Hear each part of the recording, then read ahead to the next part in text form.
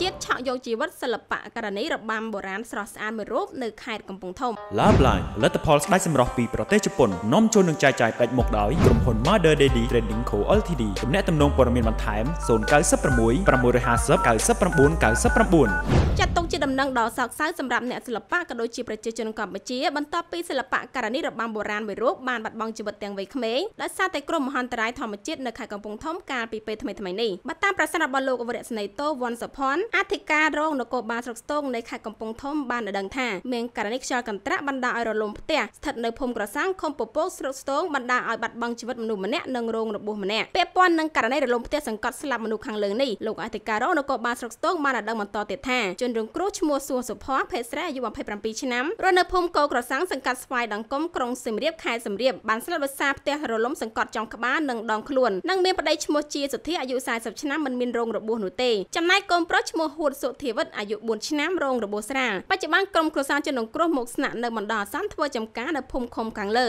ហើយក្រៅកាត់ហេតុសាបជនរងគ្រោះត្រូវបានប្រកល់ជូនសាច់ញាតិយកមកធ្វើបុណ្យតាមប្រពៃណីយ៉ាងណាមិញបើតាមប្រភពពីអ្នកសិល្បៈបានឲ្យដឹងថាជនរងគ្រោះគឺជាសិល្បករនីរបាំបុរាណល្បីឈ្មោះមួយរូបនៅខេត្តសៀមរាបតែបានផ្លាត់ទីលំនៅនៅខេត្តកំពង់ធំជាមួយប្តីតែអកុសលអីសិល្បករនីស្រស់ស្អាតមួយរូបនេះបានរងគ្រោះស្លាប់ដោយសារខ្យល់រលំផ្ទះសង្កត់លើព័ត៌មានថ្មីៗពីប៉ុស្តិ៍ប្រជាប្រិយ